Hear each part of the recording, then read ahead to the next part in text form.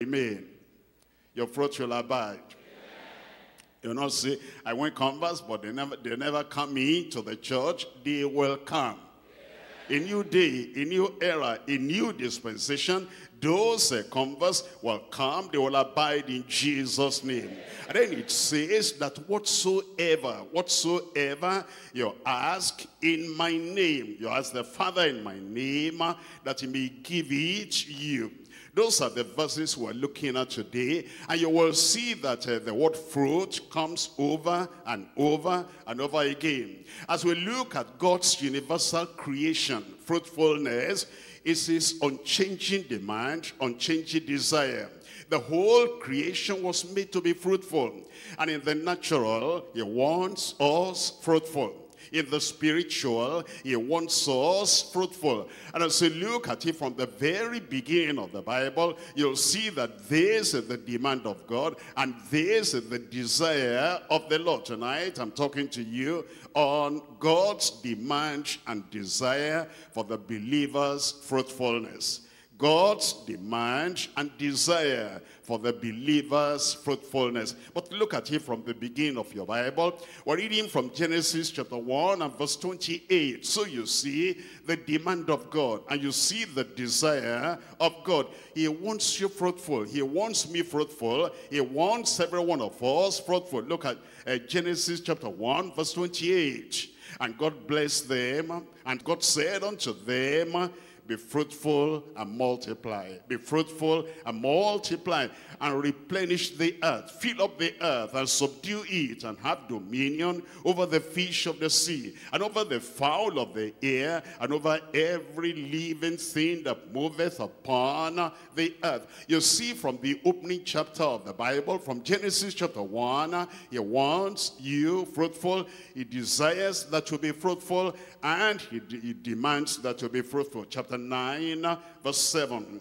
In chapter 9, verse 7, it says, And you, is now particular because this is now after the flood and you be fruitful and multiply and bring forth abundantly in the earth and multiply therein. There can be no doubt in anybody's heart who knows the Bible, who reads the Bible, that God demands fruitfulness. God desires fruitfulness. We're looking at Genesis chapter 17.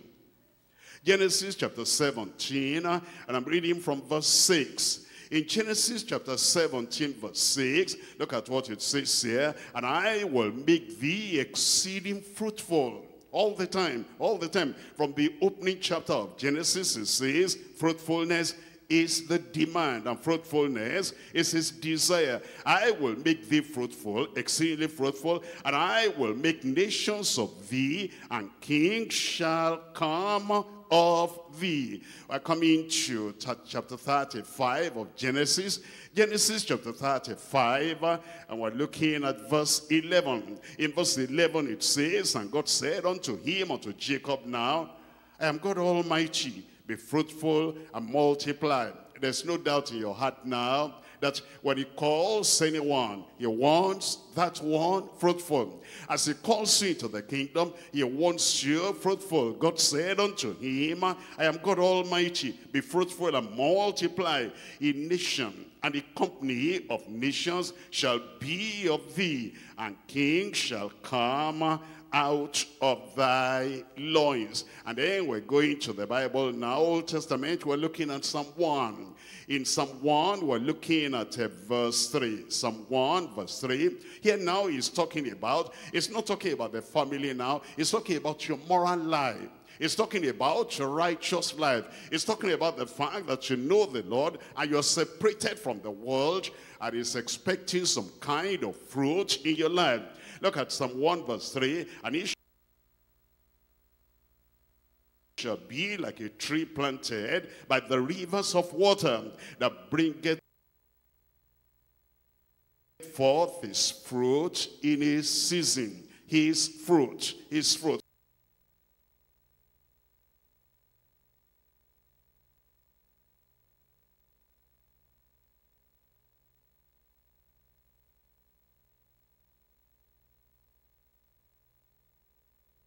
The fruit of be a fruitful vine by the such thy table. Behold that thus shall the man be blessed that feareth the Lord. And so you see the, the, the reason why we're talking about fruitfulness fruitfulness and more fruitfulness and much fruitfulness. In Proverbs it tells us in uh, chapter 11. Proverbs chapter 11 and I'm reading from verse 13. Proverbs chapter 11, we're looking at verse 30. It says, the fruit of the righteous is a tree of life. It said we started with a family.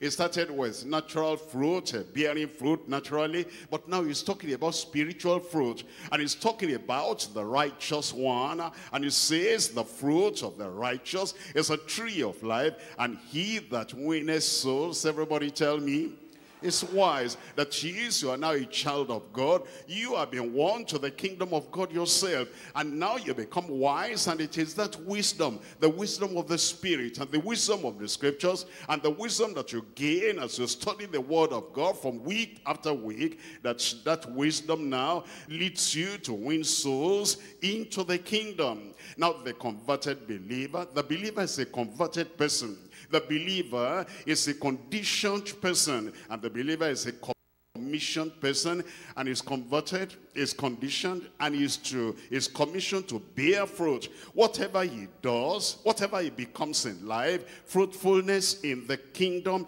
is God's measure of a purposeful life, if God's measure of a profitable life and God's measure of a pleasing in life. When somebody says, I praise the Lord, I'm born again. I thank the Lord, I'm converted. And then the word of God is reconditioning you and is making you face the right direction. That in life now, you know that you're living for something, a purposeful believer, a practical believer and a profitable believer pleasing the Lord, there's something you're going to find in your life. And it is fruitfulness. We're coming to the New Testament now, and we're starting from the opening book of uh, Matthew, which is uh, the first uh, book of the New Testament. And you will see, just like in the Old Testament, it demands fruit. And God desires fruit the same way he desires fruit today and he demands fruit today. We're looking at Matthew chapter 3 verse 7. In Matthew chapter 3 verse 7, but when he saw many of the Pharisees and Sadducees come to his baptism, he said unto them, O generation of vipers, who has warned you to flee from the wrath to come? Look at verse 8. Bring forth therefore Therefore, if you are coming out of, uh, you know, the, the darkness of the world and the sins of the world, and you're coming to the Lord so that your sins will be forgiven, your life will be transformed, it says, therefore, bring forth fruits,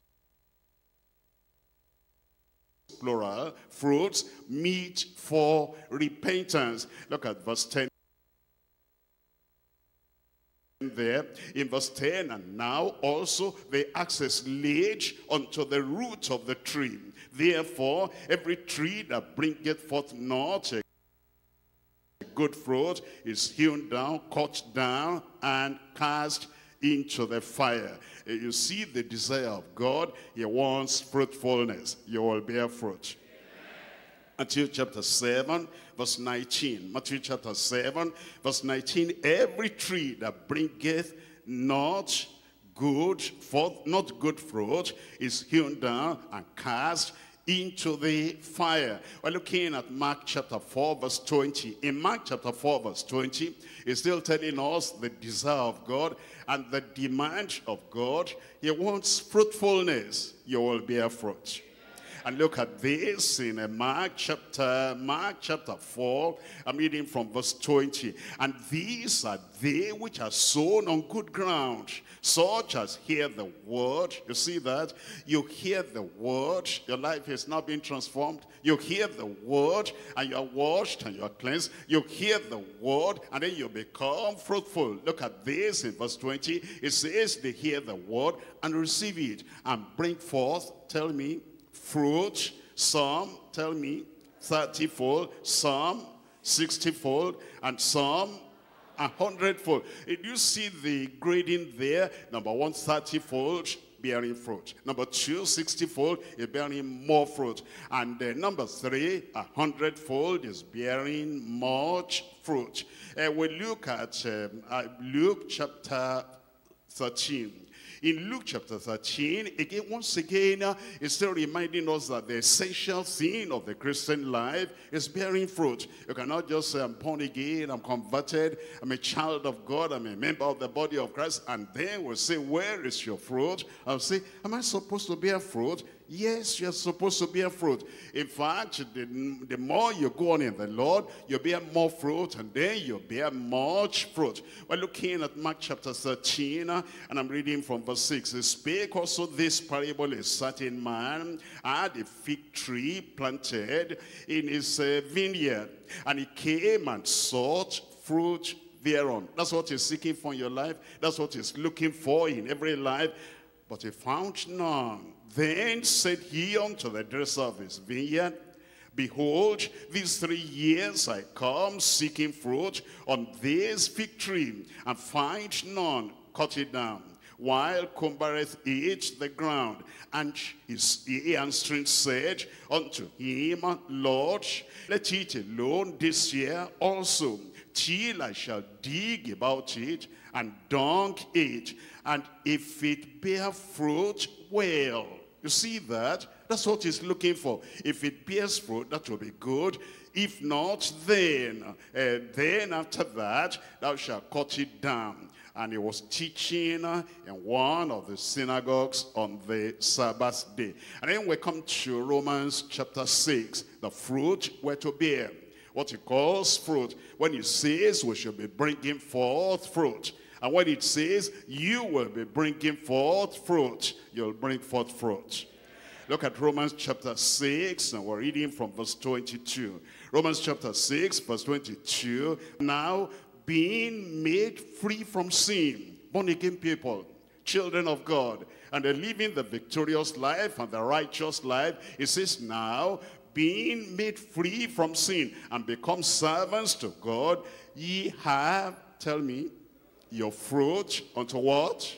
Unto holiness and the end everlasting life. It shows very clearly the demand of God as well as the desire of the Lord. He wants fruitfulness. Without fruits, our lives, our existence is not well-pleasing to God. Now, when he's talking about fruit, what kind of fruit is he talking about? Number one is the fruit of repentance. Somebody has turned away from sin, and then he comes to know the Lord, is believed on the Lord Jesus Christ, and there's a change of life, a change of heart, a change of direction. Number one, there's a fruit of repentance. Number two, there's a fruit of regeneration regeneration. That is, there is a change in the heart, there's a change in the life, there's a change in the character. That regeneration will bring fruit. Number three is the fruit of restoration. Somebody has been a backslider and is being like the prodigal son, far away from the Lord. But he said, I'll go back to my father.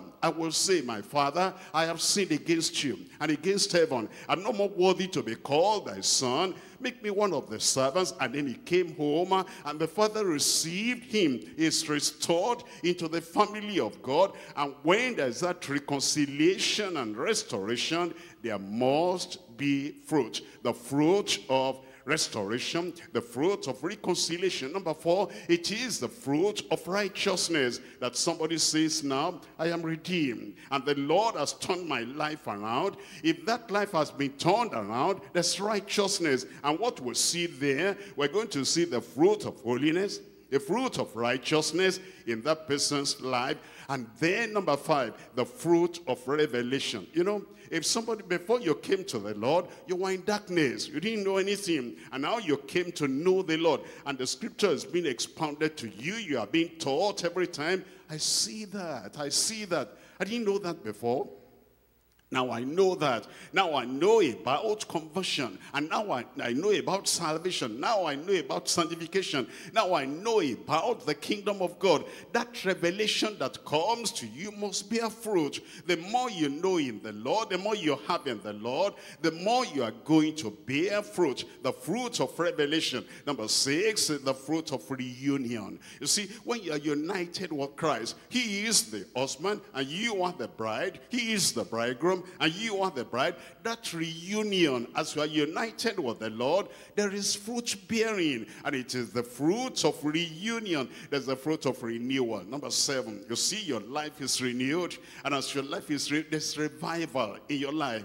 And you're so, you're so excited. You are serving the Lord now. That renewal, that revival will bring fruit in your life. And now the more you look into Christ and you look at his face, the more you look like him. It says we shall see him and we shall be like him. There's a fruit of resemblance. You resemble the Lord. You're looking like the Lord. You are talking like the Lord. You learn from the Lord. You lean upon the Lord. And because of that resemblance to Christ, that is a bearing fruit in your life. And then number nine, there's the fruit of reproduction. The fruit of reproduction. And Christ Jesus said, He that believeth in me, the works I do, he shall do. And greater works than he shall do because I go to the Father.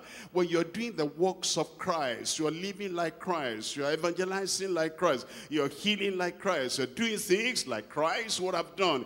If Christ were your situation today, then you are bearing the fruit of reproduction by Christ, the fruit of re reproduction through Christ, and the fruit of reproduction in Christ for Christ. And so we understand what the Lord is looking for. He demands fruit. You will bear fruit.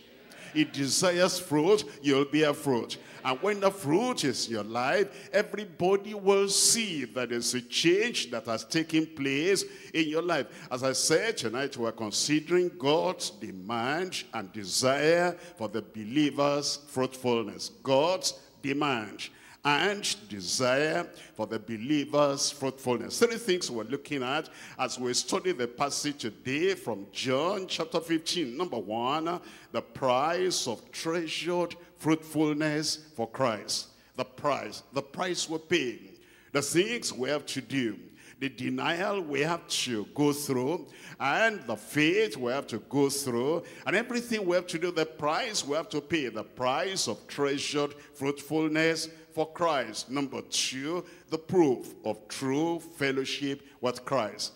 I'm a friend of Christ, there's a proof for that.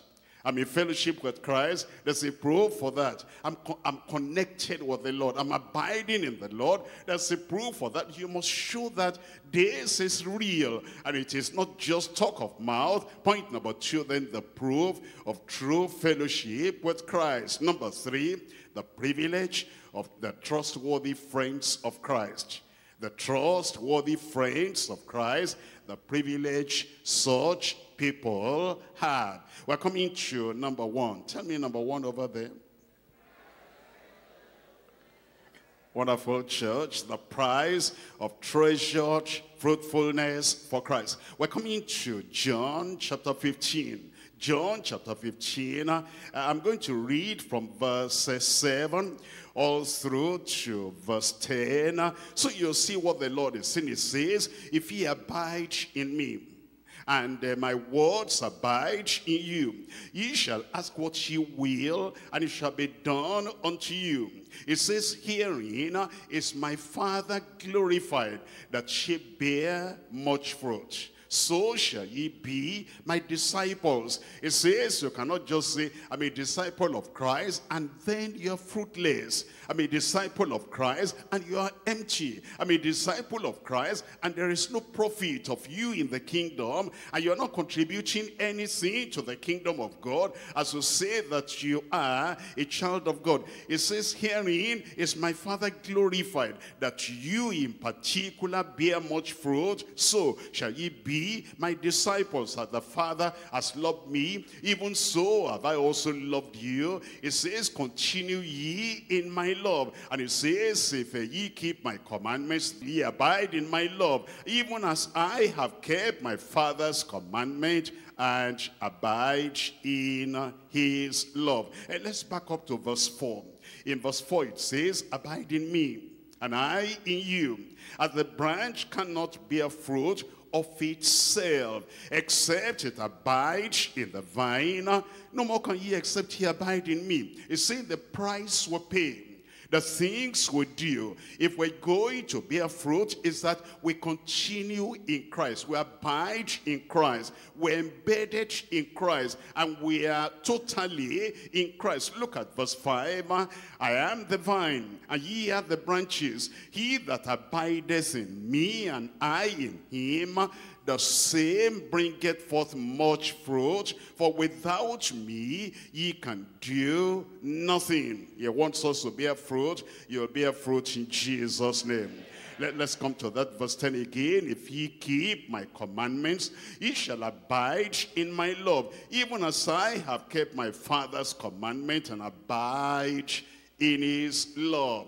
What's the price the Lord is telling us we have to pay if we're going to bear fruit? That's the price of abiding in Christ. Temptation will come and try to get you out of Christ. Say, no, no, no, no. I'm going to remain in Christ. Somebody there said, I'm going to remain in Christ trials, challenges, and pressures, oppression, whatever may come. And then people might even threaten you if you remain a Christian. And you know, the secret of bearing fruit is that you abide, is that you remain. And you're going to remain in Jesus' name.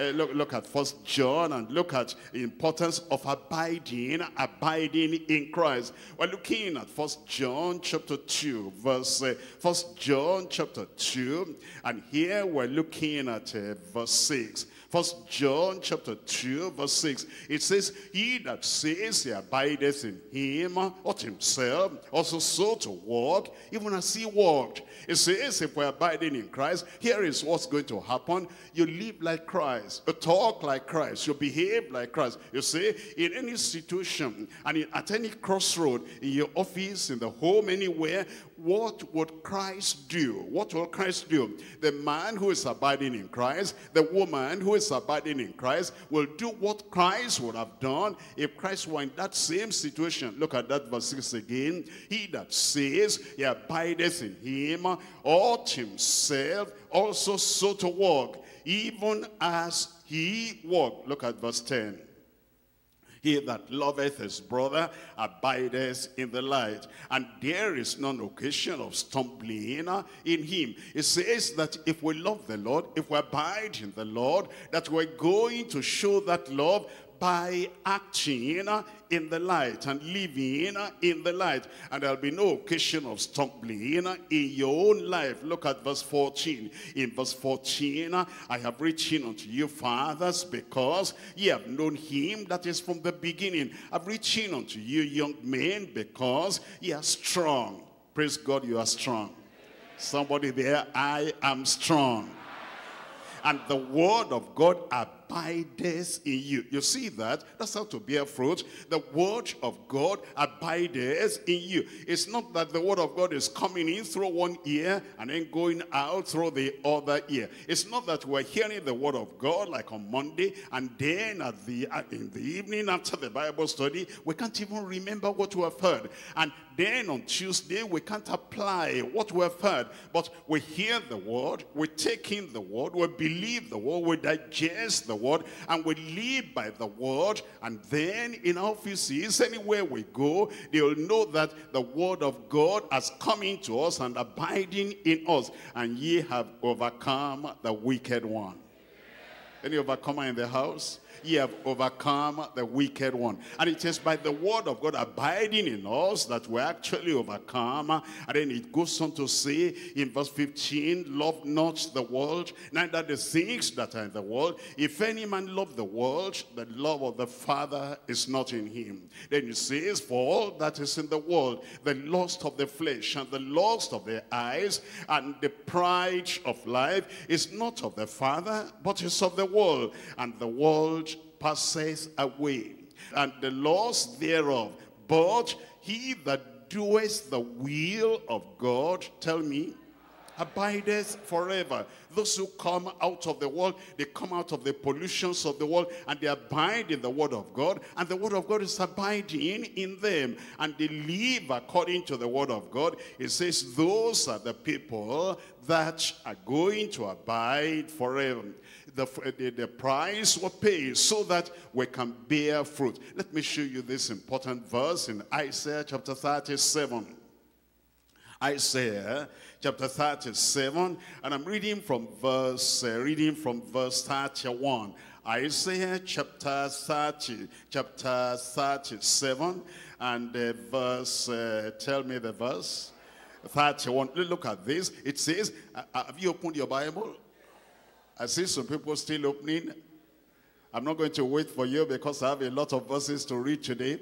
Look at it. Isaiah chapter 37 and verse 31. It says, And the remnant that is escaped of the house of Judah shall again take root downwards and bear fruit upward. You see that? There's a connection there. It's like a tree. And the more the root will sink into the ground, the more the branches will shoot up and then there'll be fruit on the branches. It's telling us that you as a child of God, as you go deeper in, the, in your root, in the foundation, and you go into Christ, and deeper into the scripture, and deeper into the love of God, and deeper into the ocean of his promises and and everything he has provided for you, the deeper you go downward, then the higher you go upwards. Look at that verse again. It says, and the remnant that is escaped of the house of Judah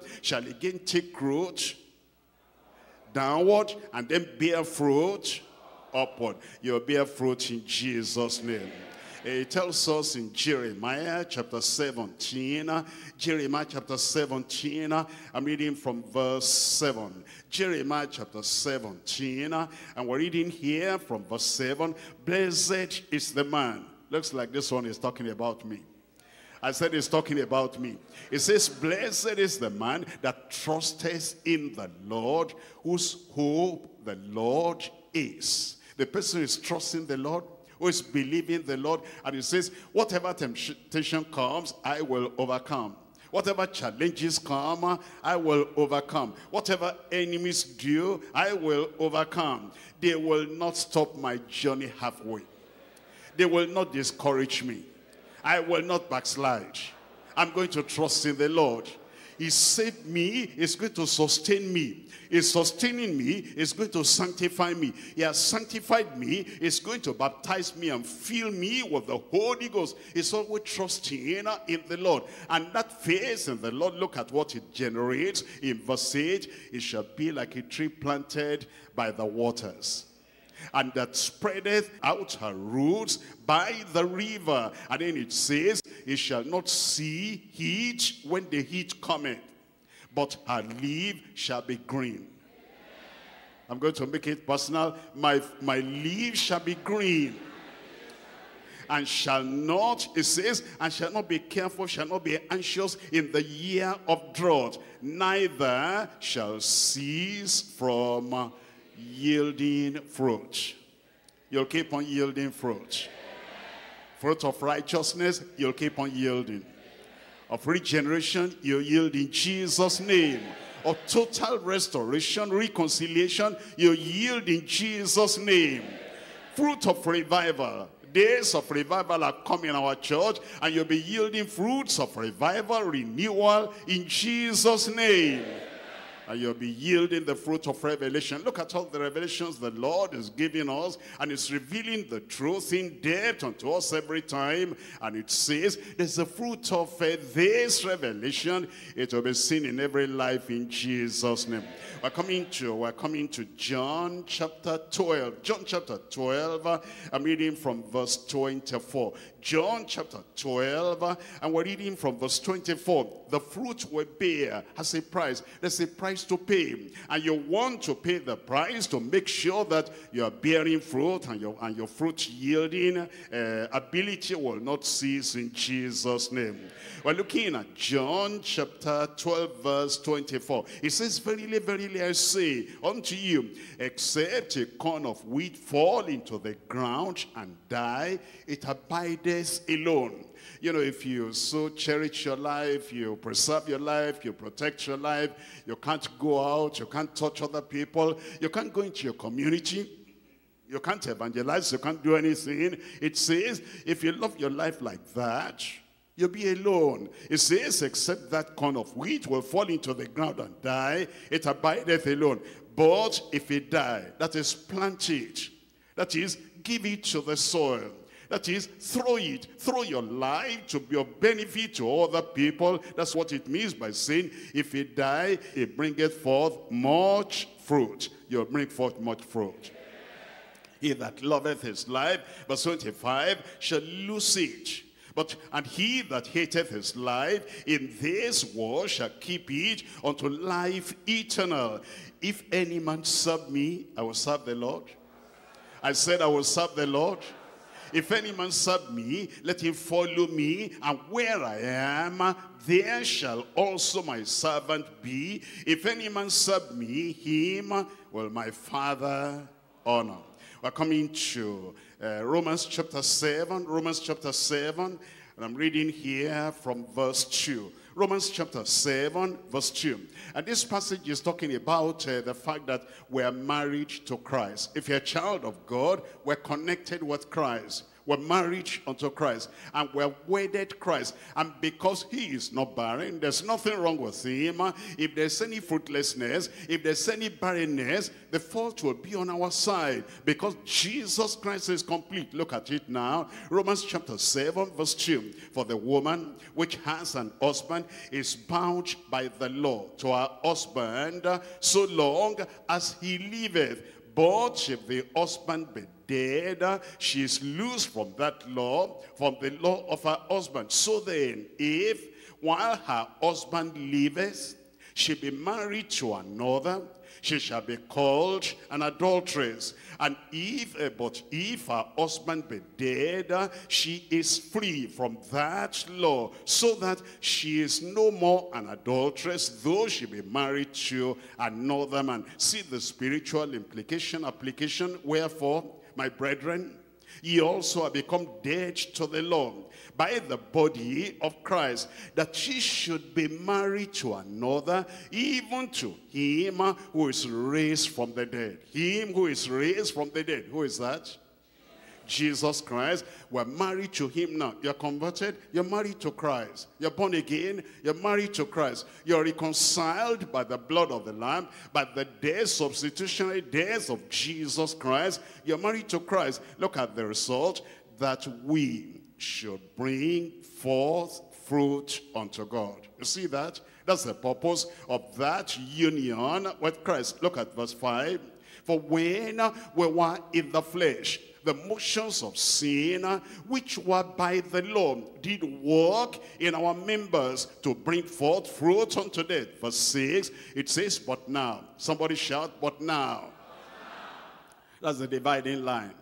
That's the conversion right there. That's the regeneration right there. That's the change, the transformation that has come. Because it says, here is the way we were. We were outside in darkness, we were fruitless, and we didn't have the nature of God inside us. And then we repented. And then we believed on the Lord Jesus Christ. And then there is a reunion with the Lord. And it says, but now we're delivered from the law that being dead, wherein we were held, that we should serve in newness of spirit and not in the oldness of the letter. Amen. That means the change has really taken place and then we're bearing fruit. What kind of fruit are we bearing? We're looking at Galatians chapter 5.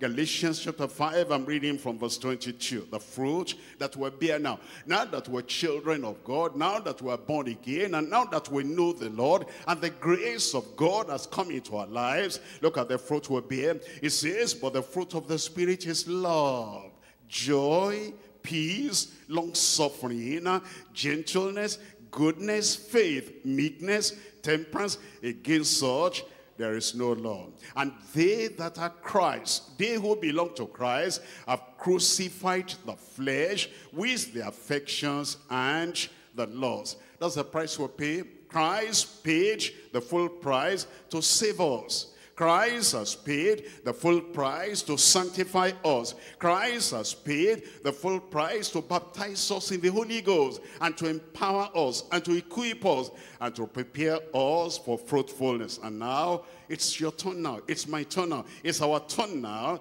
that we must also pay the necessary price in preparing ourselves for fruitfulness. What kind of price do we pay? Number one, we must be willing and desirous. It's not just that, you know, somebody is not interested in bearing fruit. It cannot bear fruit.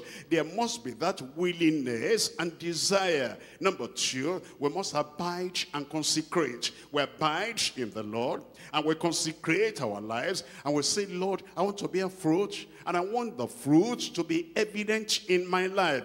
Number three, we also want to receive and retain the heavenly vision the heavenly vision. Paul the apostle said, I have not been disobedient to the heavenly vision. And when you are born again, uh, as a real child of God, you are hearing about evangelism, evangelism. You receive that, you accept that, and you understand you are receiving and retaining the heavenly vision. Not only that, you are purged to be prepared to bear fruit. And you are dead to the world and alive unto God. You are dead to the world and alive to God. Anything coming from the world that will sap your spiritual energy. Anything coming from the world that will destroy your usefulness and fruitfulness. You are dead to them. Not only that you have and you keep the mind of Christ. Let this mind be in you, which was also in Christ. And as you keep that mind of Christ and you're thinking what Christ will think, and you're looking at what Christ will look at, and you're going where Christ will go, and you're doing what Christ Christ will do, thank God you're going to bear fruit. And then you'll be crucified and fully identified with Christ. Crucified and fully identified with Christ. You'll be able to testify like Paul the apostle. You'll say, I am crucified with Christ, nevertheless I live. And this is not something that is imposed on you. You present yourself to Christ. You identify fully and completely with Christ. I'm willing to pay the price, whatever it will take. I'm willing to do so that I will be fruitful. You'll be fruitful. I'm crucified with Christ. Nevertheless, I live. Yet not I, but Christ liveth in me. And the life which I now live in the flesh, I live by the faith of the Son of God who loved me and gave himself for me. I pray to be fulfilled in every life in Jesus' name.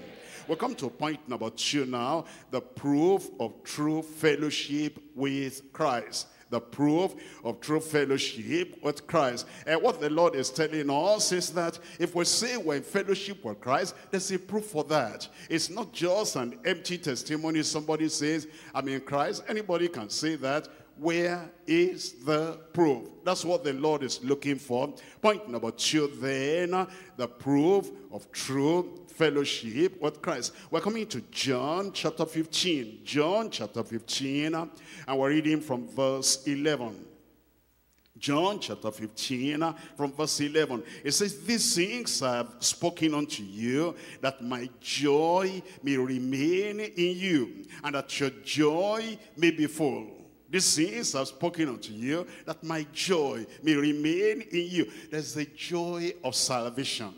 There is a joy of fruit bearing. You see, the 70 returned with joy. And he said, Lord, even the devils are subject unto us through thy name. And they rejoiced because they were bearing fruit. Number one, because of salvation. They rejoice. Number two, because of service, they rejoice. And he said, as they continue in that experience of salvation, and then they're growing in that experience of salvation, it says their joy will be getting higher and higher, and eventually your joy will be full. This is my commandment, that ye love one another as I have loved you. And then it says, greater love has no man than this, that a man should uh, lay down his life for his friends. Look at this in verse 14. Ye are my friends. Ye are my friends if, tell me. Say that again. Yeah, my friends, if you do, if you do whatsoever I command you, it says there's a proof.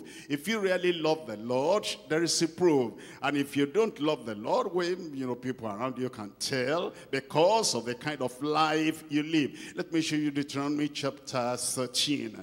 Deuteronomy chapter 13, we're looking at uh, verse, uh, we're looking at it from verse 1. It says the proof of our love for God. And the proof of our fellowship with God is that we're obedient to the word of the Lord. In um, Deuteronomy chapter 13, I'm reading from verse 1. If there arise among you a prophet or a dreamer of dreams, uh, and giveth thee a sign or a wonder, and that sign, the sign of the wonder come to pass, whereof he spake unto thee, saying, Let us go after other gods which thou hast not known, and let us serve them.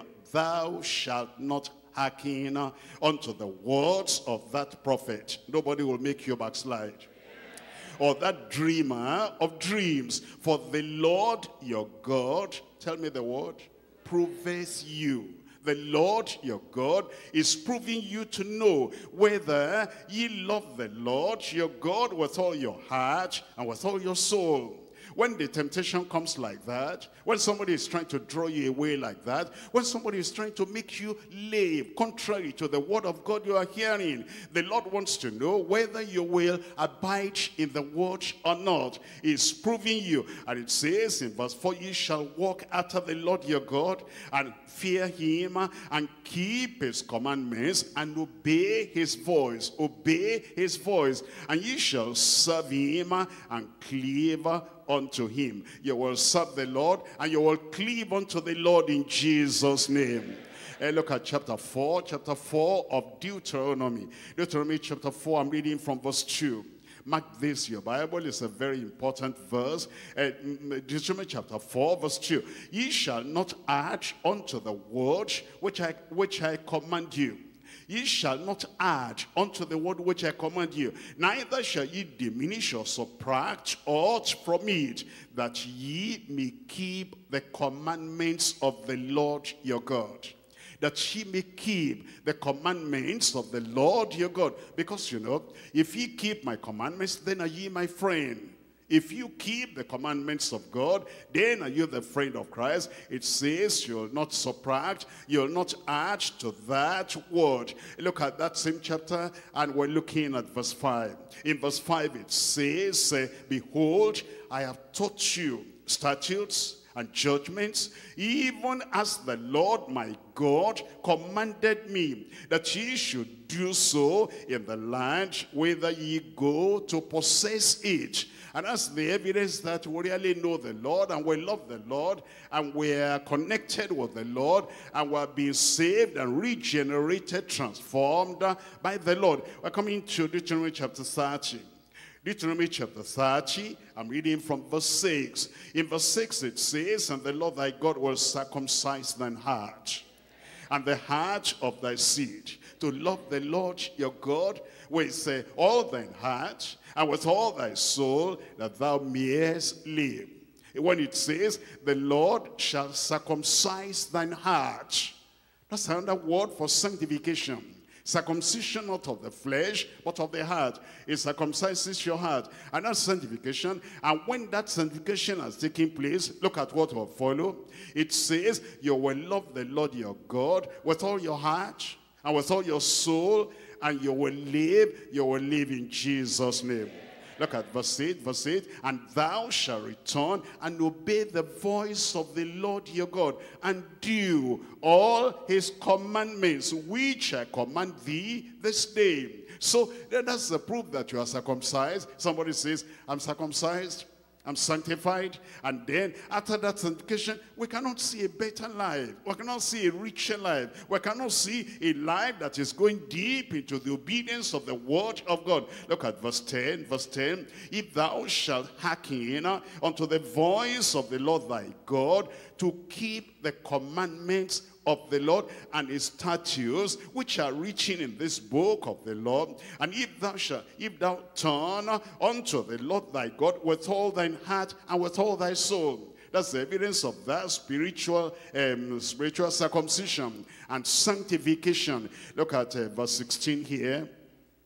In verse 16 it says, In that I command thee this day to love the Lord thy God and to walk in his ways and to keep his commandments and his statutes and his judgments that thou mayest live and multiply. And the Lord thy God shall bless thee in the land whither thou goest to possess it. Very clearly then he expects that if we say we're saved, if we say we're children of God, if we say we have any connection with the Lord, redemptive connection, transformational connection, it says must be obedient to the word of the Lord. If you keep my commandments, then are you my friends. Let's come to Psalm 119, Psalm 119. I'm reading here from verse 60. Psalm 119, verse 60. Keeping the commandments of God that's evidence, and that is the proof we know the Lord.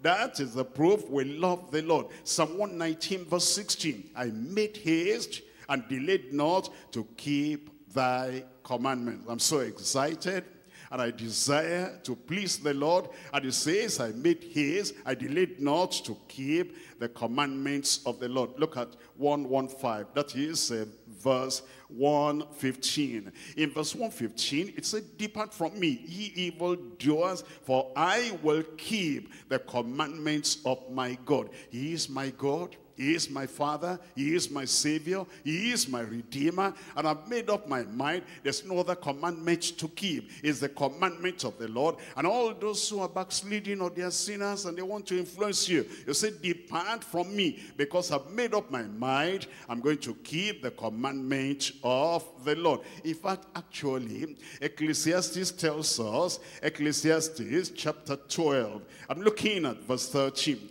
It says, uh, this is the conclusion of the whole matter. This is the evidence that you, are, you really know the Lord. And this is what God is going to look at on the final day. It is not that, you know, I go to church. It's not like I have a Christian name. It's not like I was baptized in water. All those things are good. But the final scene, the evidence and the proof that will belong to the Lord, look at what God is going to look at. Ecclesiastes chapter 12, verse 13. Let us hear the conclusion the conclusion of the whole matter.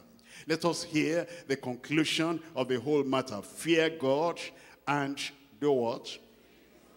Keep his commandments, for this is the whole duty of man. This is why we're here. This is why we're studying the Bible.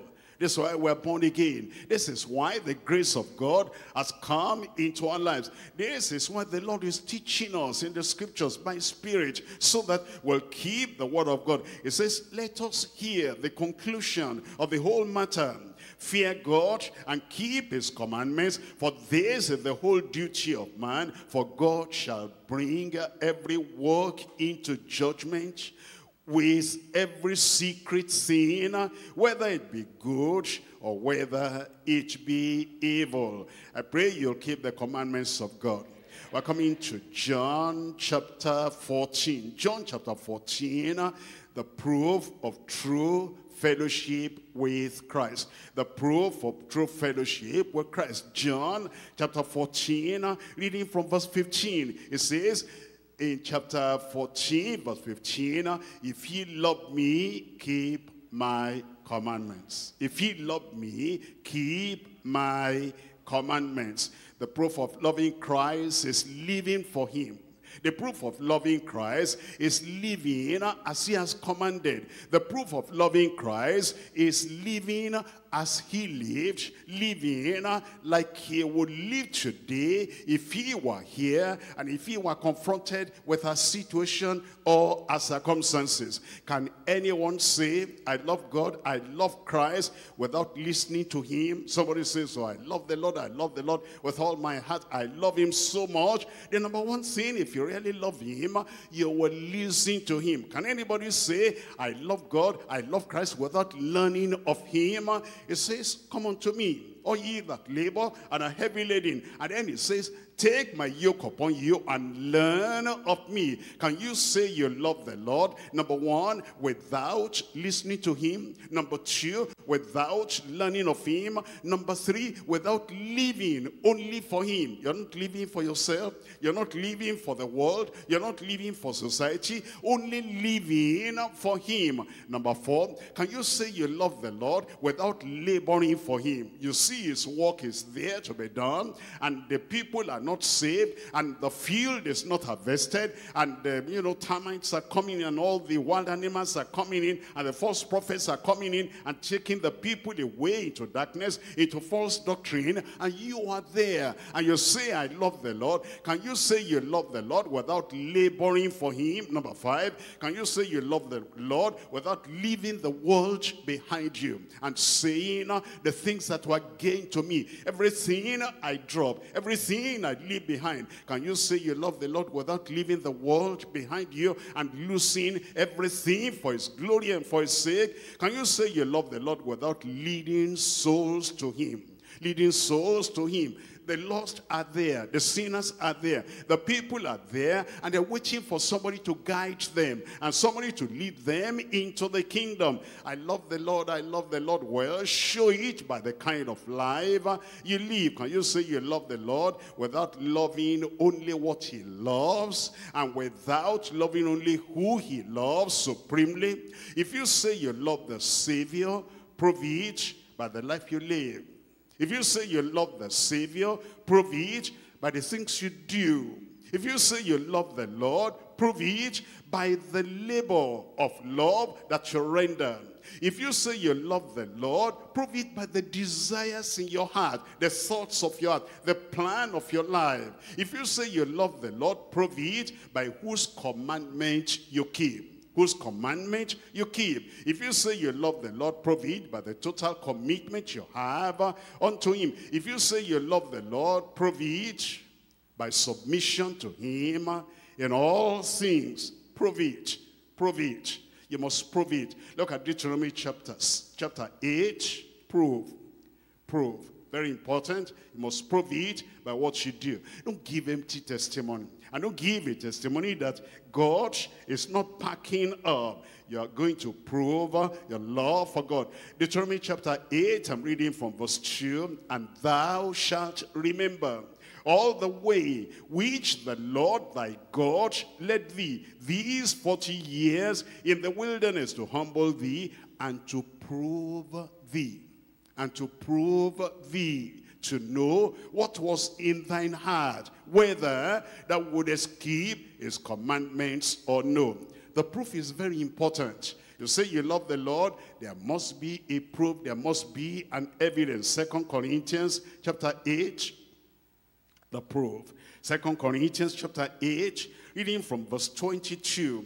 It says in Second Corinthians chapter 8, verse 22, And we have sent with him or them our brother, whom we have often proved diligent we have often proved diligent. You see that? There's a proof. If we say we love the Lord, we know the Lord. If we say we're connected to the Lord, we're converted by the Lord, prove it. It says we have oftentimes proved him diligent in many things, and now much more diligent upon the great confidence which I have in you. Chapter 13, I'm reading from verse 5 chapter 13, verse 5 of Second Corinthians. Examine yourselves, whether ye be in the faith, prove your own selves. Prove your own selves. Prove your testimony and prove your confession and prove your dedication. You say, I love the Lord, prove it.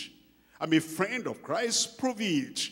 I'm born again, prove it by the life you live. Examine yourselves whether ye be in the faith. Prove your own selves. Know ye not your own selves how that Jesus Christ is in you, except ye be reprobates, you will not be a reprobate. Galatians chapter 6, I'm reading from verse 4. Galatians chapter 6, look at verse 4. And let every man prove his own work. I'm a minister, prove it. I'm a soul winner, prove it. I love the Lord, prove it. I'm profitable in the kingdom, prove it. I am fruitful, prove it. I am faithful, prove it. And let every man prove his own work. And then shall he have rejoicing in himself alone and not in another. First Timothy chapter 3. In First Timothy chapter 3, I'm reading from verse 10. First Timothy chapter 3, reading from verse 10. And let these also first be proved let these also first be proved. It's not enough for somebody to just say, I'm born again. Let these also first be proved. It's not enough for somebody to say, I've learned the word of God. I'm living by the word of God. I'm a friend of Jesus. I'm in fellowship with Christ. Let these also be first proved. Then uh, let them use the office of a deacon, being found blameless. We're coming back to John Gospel according to St. John. And we're looking at uh, this chapter 15. Chapter 15. We come to point number three now. The privilege of the trustworthy friends of Christ. The privilege of the trustworthy friends of Christ. I'm going to back up to verse 13. Look at it from verse 13 now. Greater love has no man than this, that a man should lay down his life for, tell me, his friends, It's friends. You know, sometimes uh, we have used the word believers, believers, but there's something more. Sometimes we say, I'm a child of God, there's something more. Sometimes we say, I'm a convert, there's something more. Sometimes we say, I'm a sage, there's something more. He says, he calls us friends. He calls us friends. He says uh, that a man lay down his life for his friends. Ye are my friends. Look at that. Ye are my friends. He was talking to some disciples. Ye are my friends. If ye do whatsoever I command you. Look at verse 15. Henceforth, I call you not servants, uh, for the servant knoweth not what his Lord doeth, but I have called you, tell me, friends. The third time now, in uh, this uh, short passage, is calling the believer's friend. It says, I've called you friends for all things that I have heard of my Father, I have made known unto you. And it says, you have not chosen me, but I have chosen you. You have not chosen me, but I have chosen you. Why did he say that? Because there's no friendship or fellowship between light and darkness. Because you are willing to quit darkness, leave darkness, come out of darkness and come into the light. I have chosen you. You have not chosen me. I was watching you. There's no fellowship. There's no friendship between good and evil. And if you wanted to keep to evil and remain in evil and perpetrate evil, I wouldn't choose you. But because you are willing to come out of evil and come into the goodness of the Lord,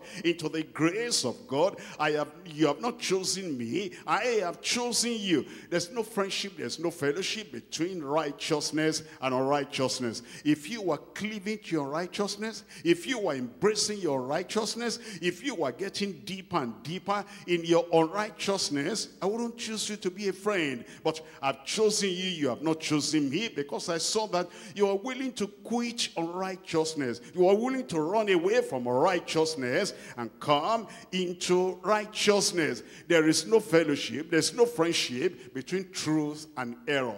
If you were holding on to the tradition of uh, those uh, uh, people that didn't want the truth, you were holding on to error, I wouldn't want you to be a friend. But because you let the error and you ran away from the error and you repented from the error and you threw away the false doctrine and you came into the truth. That's why i chose you. There is no fellowship and there is no friendship between holiness and hypocrisy. If you had remained like those pharisees hypocritical and they were white on the outside but black on the inside if you didn't really choose uh, inward transparent holiness and you were hypocritical i would not have chosen you. You have not chosen me, but I have chosen you. There's no friendship and there's no fellowship between Christ and the Antichrist. If you made up your mind you were going to follow the Antichrist, someone opposed to Christ, a doctrine opposed to Christ, a lifestyle opposed to Christ, I wouldn't have chosen you, but have chosen you now because of your choice that you are going to forsake everything false, everything evil, everything dirty, everything defiling, and you came to Christ. That's why I have chosen you, and I've chosen you for one reason and ordained you that you should go and bring forth fruit, and that your fruit shall remain. And that your fruit shall abide. Your fruit will abide in Jesus' name. Now, I want you to understand that, uh, you know, the language Jesus Christ was using when he says, ye are my friends. The Heavenly Father used that language to start with. Let's look at James chapter 2. James chapter 2. I'm reading from verse 23. James chapter 2 and we're reading from verse 23. You'll see the, you know, the first person to be a friend of God. Uh, look at uh, James chapter 2 verse 23. And the scripture was fulfilled which says, Abraham believed God and it was, uh, it was imputed unto him for righteousness and it was called, tell me, the friend of God. Not before conversion, not when in idolatry, not when in darkness, but when he had the word of God and he repented and he believed in the Lord and then the Lord counted that for him as righteousness and then he became uh, the friend of God. And Christ is now saying, it's your turn. Like Abraham was a friend of God the Father, you can be a friend of Jesus. Look at Isaiah chapter 41. Isaiah chapter 41. I'm reading from verse 8. Isaiah chapter 41. And we're reading from verse